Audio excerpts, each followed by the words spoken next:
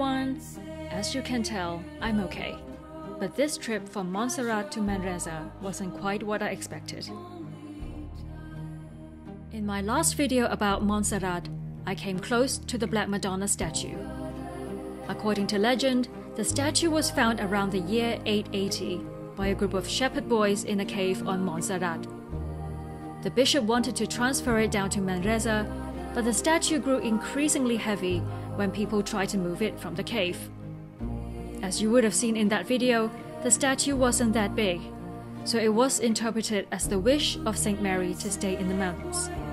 I was curious as to what might have been the Black Madonna's home, so my first stop is Santa Maria de Manresa, also known as La Seu.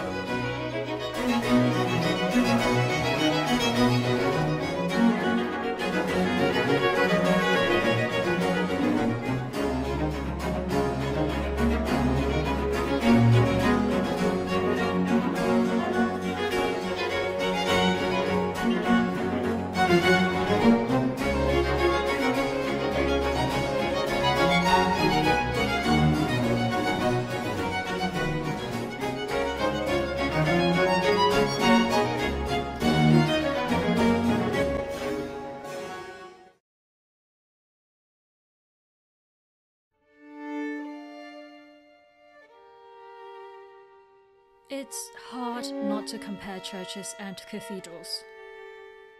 Once you've been inside La Sagrada Familia or St. Paul's Cathedral, Notre Dame, you start counting the number of stained glass windows, the shiny objects. Especially with a Gothic architecture such as this, the interior looks dark, the vaults and pillars bare.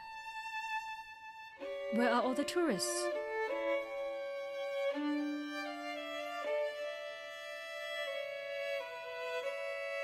But when the outside world is so noisy, this peace and simplicity is just what we need.